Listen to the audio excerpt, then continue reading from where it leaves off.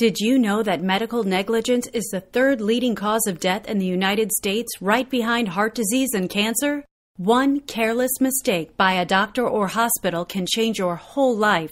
Thousands of people are injured each year, and many never pursue a medical malpractice claim.